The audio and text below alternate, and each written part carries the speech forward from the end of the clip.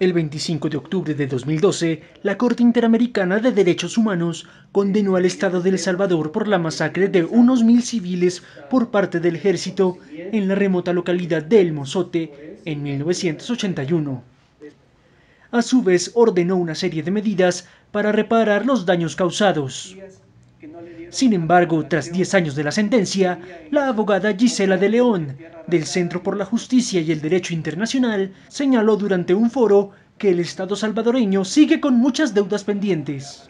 Los hechos tienen más de 40 años de haber ocurrido y si sigue pasando el tiempo, las víctimas van a fallecer sin poder tener acceso a la justicia y los perpetradores de los hechos van a fallecer sin poder, eh, sin haber hecho frente a sus responsabilidades. De León remarcó que la sentencia tiene 12 reparaciones para las víctimas y para evitar la repetición de los hechos.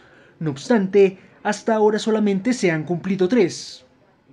Por su parte, el abogado Ovidio Mauricio, de la organización no gubernamental Tutela Legal María Julia Hernández, dijo que aún se está tratando que se haga justicia en el caso. En cuestión de reparación también hay una gran deuda, no se hace justicia, es, es una forma de, de ir pues dejando eh, pasar el tiempo ¿verdad? y no hacer justicia. Cabe recordar que por la masacre del Mozote son procesados penalmente más de una docena de mandos militares retirados, quienes son acusados por crímenes de lesa humanidad.